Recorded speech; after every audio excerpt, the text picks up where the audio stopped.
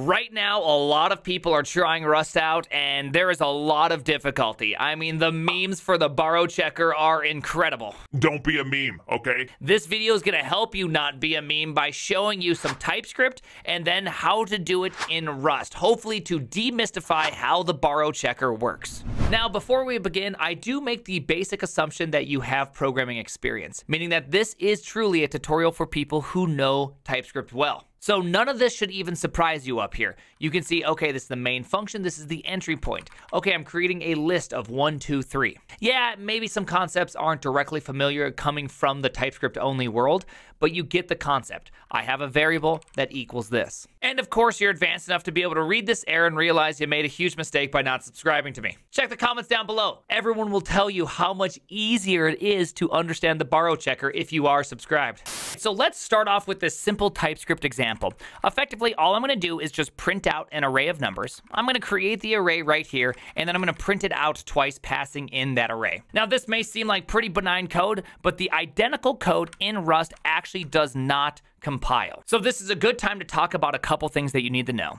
In Rust, there are such things as values. And in this case, item holds on to the value of a vector 1, 2, 3. You can think of a vector almost identical as you would, say, a list in JavaScript. Now, the thing in Rust is that there can only be one value holder. So when I hand this value to the function print out item, that function now is the owner of the value, which means that when I hand it out a second time, that value is gone. The function had it, it used it, it did nothing with it, it's gone. The list is gone. That's why you can see something right here that says value moved here use of moved value. Those errors are pretty clear what's happened. So that leads us to our second kind of type of value.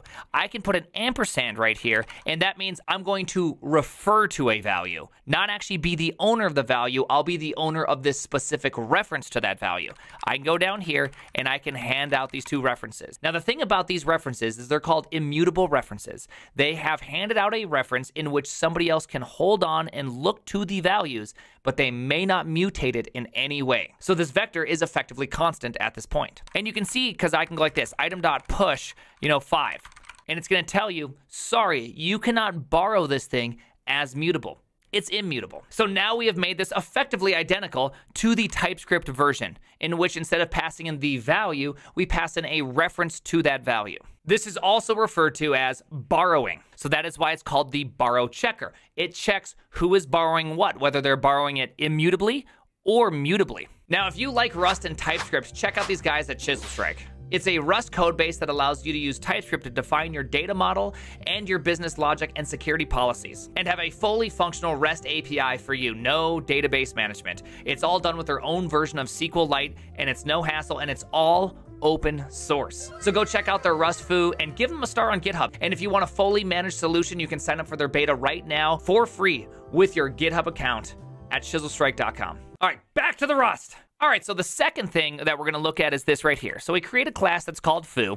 We have an array of three foos, and then I'm going to grab the last item out of the array. Then I'm going to pop that item out of the array, and then I'll log out that last item. Now, this looks like a pretty kind of normal case you've seen in JavaScript before, where you refer to something in an array, and then the array eventually gets mutated, but you still hold on to that value or a reference to that value. Now, this works because JavaScript keeps track of who holds on to what and only deletes things things once nobody holds on to them anymore. This is commonly referred to as garbage collection. So when I jump over to my Rust example, you just see errors and everything blown up everywhere and you don't understand why. Let's walk through why. Well, first off, I do the same thing. I create an array list of foos. Then I hold on to the last item in the list then I pop, then I try to print out the last item in the list. So what's effectively happening right here is that we have a immutable reference to an item within the list. That means we're referring to a value. That means I could technically take this value and print it right here and it's not a problem. We could see that value being the third foo. So if we had some sort of way to identify that this was a third foo, you'd see it within that print statement. But then we mutate the vector. So what am I referring to? Am I referring to the last spot in the vector that no longer exists,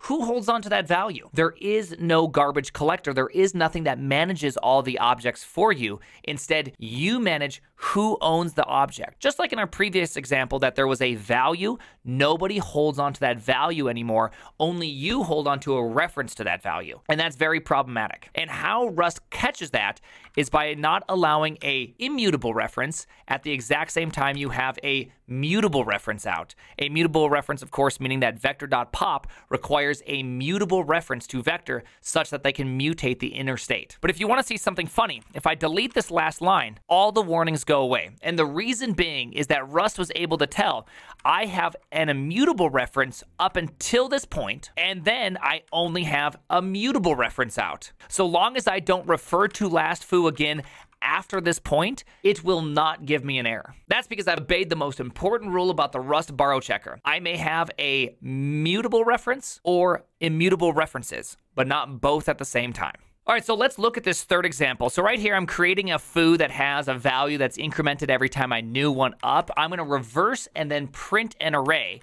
I'll create that array, and then I've called reverse and print twice. For those that don't know what happened, effectively, we did reverse the array, but then we re-reversed our reverse. Now, what makes this so difficult for a lot of people, in JavaScript, there's a series of methods that both do something and return an array. Some of them mutate, some of them copy. A good example would be foo.map map copies and creates a new array. Foo.reverse does not copy but returns out the array. Now, for those that are very experienced, they already know all these rules. Okay, sorts in place, reverse is in place, uh, map and filter are copies, right? You like know these things intrinsically, but for all the people that are new, they don't know this. And everybody has to go through the process of learning by error eventually. Now, this does not even exist in Rust, and let me show you. So I tried to create the exact same version. Now remember, we already learned this in our first lesson. I'm taking in a reference to a vector, and then I'm calling an iterator and I'm reversing it and then printing it each out.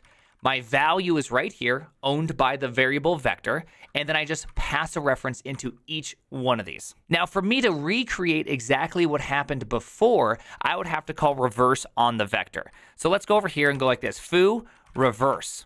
Now, reverse does happen, but look at what the documentation says right here.